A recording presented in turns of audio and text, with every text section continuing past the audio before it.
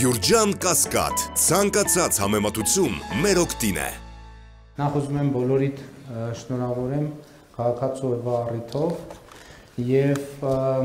եւ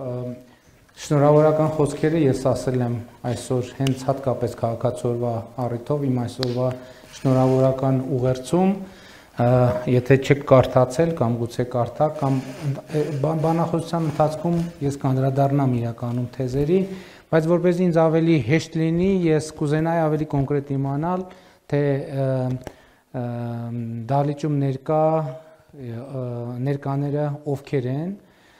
եւ ուզում եմ հասկանամ դուք ցանկացել եք եկել եք, չեք ցանկացել, ձեզ ասել են պետքա գաք, ձեզ հետաքրքիր է դուք տեղյակ եք թեմայի մասին, բայց այդ հնդածս կպարզենք եւ այսօրվա իմ բանախոսության թեման հետեւյալն է, ինձ առաջարկվել է եւ ես էլ եմ, երևի ես եմ առաջարկել, հիմա չեմ էլ հիշի, ես խոսեմ այն հայեցակարգի մասին, որի վերաբերյալ քաղաքական ամբիոններից վերջերս հաճախ եմ խոսում եւ այդ հայեցակարգը հնչում է մոտավորապես այսպես. հայրենիքը պետությունն է, սիրում ես հայրենիքդ ուժեղացրու պետությունը։ Հաճախ ասում են եւ քննադատություն կա բնականաբար այս հայեցակարգի վերաբերյալ, ասում են, թե այն հայրենիքը հակադրում է պետությանը։ Եվ սա կարևոր քննադատություն է, որին անպայման պետք է անդրադառնալ։ Եվ parzել ինչքանով է այդպես։ Իրականում այս հայեցակարգը հայրենիք եւ պետություն հասկացությունների երբեմն բարդ հարաբերությունները հասկանալու անհրաժեշտությունից է բխում։ Այսինքն մենք ուզում ենք հասկանալ ի վերջո ինչ հարաբերություններ ունեն հայրենիք եւ պետություն հասկացությունները եւ ես ուզում եմ հերվից գալ թե որտեղ երբ ինչ պայմաններում այս հարցը ցակել, որովհետև թե ինչ պայմաններում է այդ հարցը հայտնվել քաղաքական մակարդակում, ենթադրում եմ բոլորդ գիտեք, կամ եթե ցանկություն ունենաք, շատ արագ կպարզեք համացանց համացանցից։ Եվ ընդ որում շատ հետաքրքիր է, որ այս հայեցակարգի ընկալումը կամ անհրաժեշտությունը կամ առաջ մղումը կառավարության կողմից շատերը դիտարկում են արտաքին քաղաքական տրամաբանությամբ բայց եւ երբեմն էլ հենց այդ արտաքին քաղաքական կամ զուտ արտաքին քաղաքական ընկալումն է, որ մեզ հնարավորություն չի տալիս ավելի լավ parzabanել եւ ավելի լավ հասկանալ, թե ինչի մասին է խոսքը, որովհետեւ արտաքին քաղաքական կոնտեքստ այստեղ իհարկե կա, բայց այդ արտաքին քաղաքական կոնտեքստը ամենևին էլ ամբողջը չէ։ Եվ ես հիմա ուզում եմ սեփական օրինակով ցույց տալ այս հարցի ոչ քաղաքական կամ այն կոնտեքստը, որը այդքան էլ ուղիղ կապված չէ կապված չէ քաղաքականության, արտաքին քաղաքականության, այլ ավելի շատ կապված է սոցիալ հոգեբանության հետ։ Ես, եթե գիտեք, ծնվել եւ մեծացել եմ Իջևանում։ Տավուշի մարզի Իջևան քաղաքում 1991 թվականին եկել եմ ուսանելու մայրաքաղաք Երևանում, ընդունվել եմ Երևանի պետական համալսարանում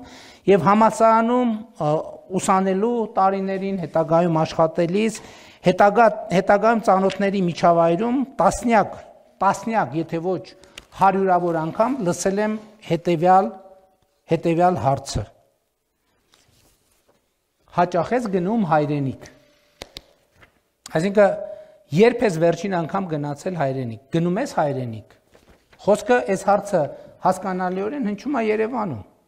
Ես Իջևանից եկել եմ, Երևանում սովորում եմ կամ աշխատում եմ, իմ ընկերները, դասախոսները, ծանոթները ասում են միջև միջև բավականին վերջերս բոլորով ինձ ասում են հաճախ ես գնում հայրենիք, չէ՞։ Բարձամարտիկ դա ասում են, Եվ հենց առաջի անգամ ես այդ հարցը լսել եմ, այդ հարցի մականջը ծագել է, որովհետև հարցա ծագել։ Բարձա չէ, իրանք մենք Երևանում ենք, սուրճ ենք խմում կամ աշխատում ենք կամ դասի ենք, ասում են հաճախ ես գնում հայրենիք։ Նկատի ունենալով Իջևան գնում գալիս ես։ Եվ ժամանակի ընթացքում իմոտ ծագել է հետեւյալ հարցը, բայց ես հիմա որտեղ եմ։ Ասենք ես Երևանի պետական համասարանում եմ։ Ինձ ասում են հաճախ ես գնում հայրենիք։ Լավ, Երևանում եմ Իմ մոտ ժամանակի ընթացքում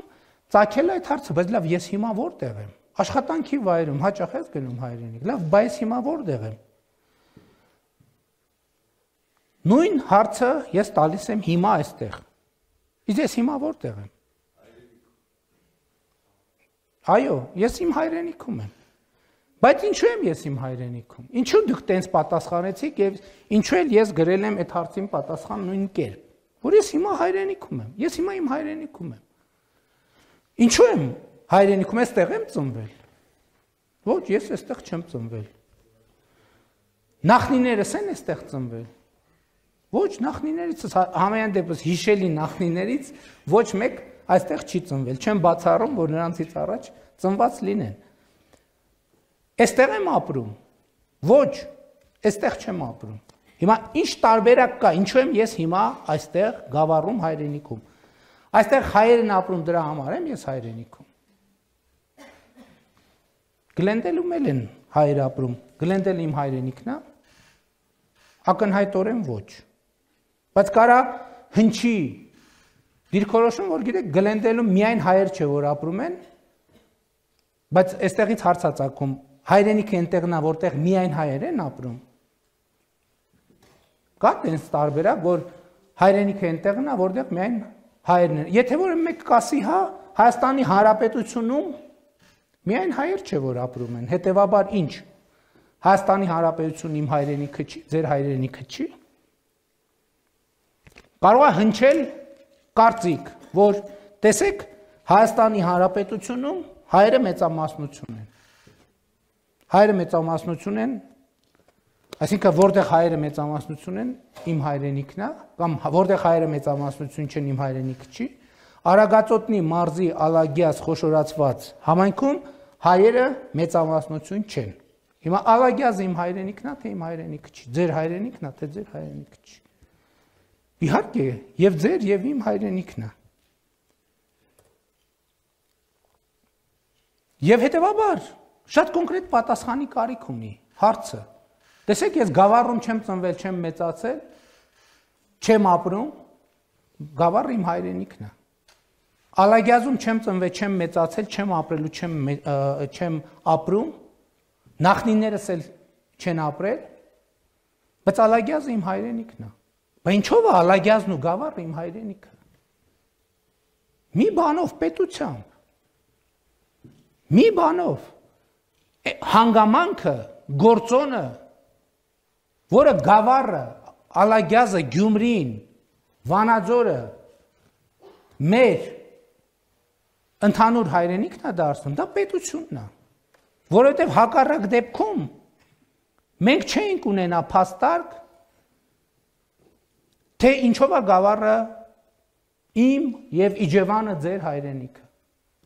Այստեղից է գալիս, որ հայրենիքը պետությունն է եւ ես հիմա ասում եմ ցույց տալու համար նաեւ, որ հայրենիքը պետությունը պետությունն է